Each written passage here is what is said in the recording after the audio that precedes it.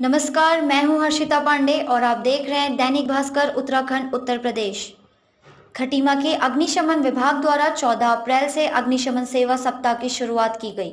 इस दौरान लोगों को एडमिशन विभाग द्वारा गोष्ठी के माध्यम से अग्नि से सुरक्षा संबंधी बातें बताकर जागरूक किया गया।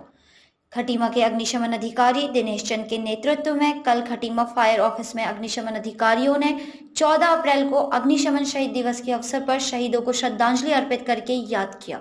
इसी के साथ नगर में 19 विभागों द्वारा जागरूकता रैली निकाली गई, जिसमें सीमा क्षेत्र के लोगों को अग्नि से सुरक्षा संबंधी जागरूकता के बारे में विभिन्न माध्यमों से बताया गया। खटीमा से संवाददाता केदार सोनकर की यह रिपोर्ट। चौवालीस में स्टीफन जहाज़ में आग लग गई थी।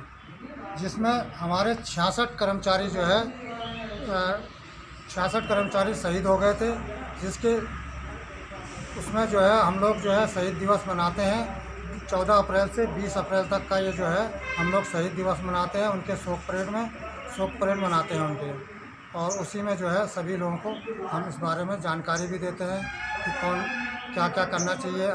आदमी आदमी अग्निशमन को किस किस तरह से आप लोगों को सपोर्ट करना है और चाहते हैं आप लोग कोई गंदगी ना मचाएँ और कोई बीड़ी सिगरेट ना पिए बीड़ी सिगरेट पी के खेतों में ना डालें, घर के आसपास कूड़ा इकट्ठा ना करें, उसको जो है कूड़ेदान में ही डालें, इस तरह से हम सारी इन्फॉर्मेशन जनता को देते हैं।